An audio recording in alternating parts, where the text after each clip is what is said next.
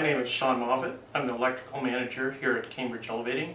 And today I'm going to do a short talk on basic electrical theory with the hope that it'll give you the, the grounding to understand electrical drawings and some of our uh, circuits later on. I'm going to start with the simplest of circuits. We have a, a DC electrical circuit, so we have a positive and minus like a battery. We're going to start with the positive and it's it's going to go through a contact. Now a contact can be drawn different ways. Sometimes a contact can be drawn like this. Whenever you're dealing with, with drawings, whether it's electrical, plumbing, etc., there's always symbols that everybody kind of agrees or understands what they mean. I'll show you some of the basics during this video for electrical circuits. This is commonly for a contact.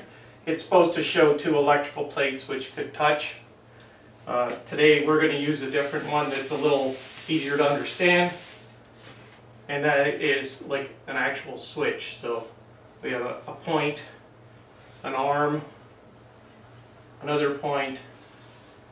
and if you think of electricity going down this as a wire, it's going to, when this closes, comes down, it'll continue to flow. So this is a switch which will close. And then we need a load, such as a light bulb. So we're going to use a DC light bulb. Now DC, you can always think of batteries, uh, car battery, cars, they're all DC pretty much. Uh, AC is usually what a house runs on. It's what's in the plug that goes up through your light switch. So DC we're going to think of, it's like a flashlight. What we have here is just a switch that turns on a light. The lights can be uh, drawn different ways. Usually they're a circle, obviously but it could be done like this, showing like a sun, or it could be squiggly rays like this on one side.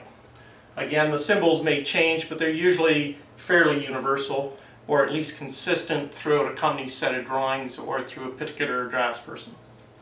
So here we have positive going through a switch to a light bulb, and then it's going to go to negative, negative of the battery. I won't bother showing the battery in this case. So you can see starting from left to right, we're going electricity is going to go through a switch, light up light bulb.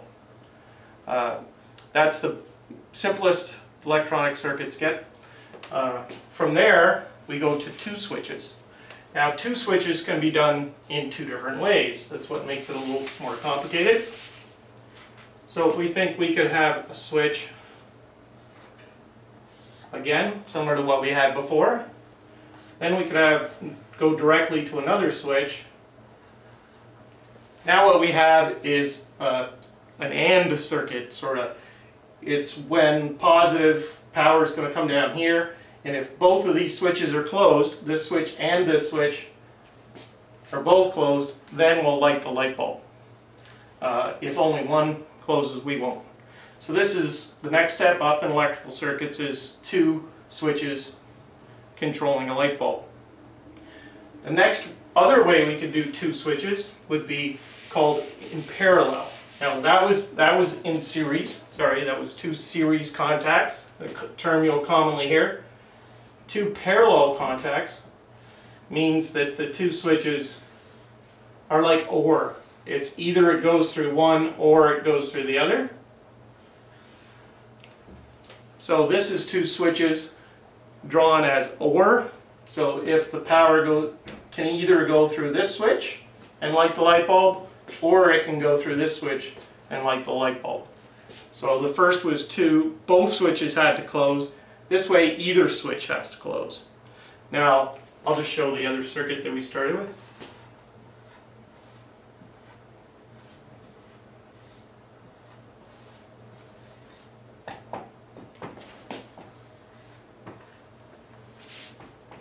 So here's the first one. This is OR. So both of these switches are in series. They need to both close to light the light bulb. And here we have AND. Either switch could close to light the light bulb. Some practical ideas here are this is like safety circuit in an elevator. If you think of e-stops or emergency switches, uh, if any one of the switches opens, the lift won't run. So these switches all would need to be closed in order for there to be an operating elevator. Uh, So that's a practical example. In this case, we could have uh, two, either of these switches. So this could be, uh, if there was two buttons on a, a call, two different call stations, one on the left side of the elevator, one on the right side of the elevator in the hallway, either one, so you push either one, and they'll place a call. Uh, so this would be one button, would create a call for the first floor, probably turn on a relay, which I'll explain later. And this would be another button on the other side of the elevator. Either one will cause the output, will cause the light to turn on in this case. So I hope that uh, helps you to better understand the basics. And then from here, we'll, we'll add more contacts in different configurations. Just basically this, but let's say we were to put a series contact here, that makes it more complicated, but it doesn't change the fact that we still have these two types of circuits in some kind of form. Uh, then also in additional lectures, we're going to go through uh, relays and other components you typically find in an elevator or a deck lift. Thank you very much. Hope you enjoyed the lesson.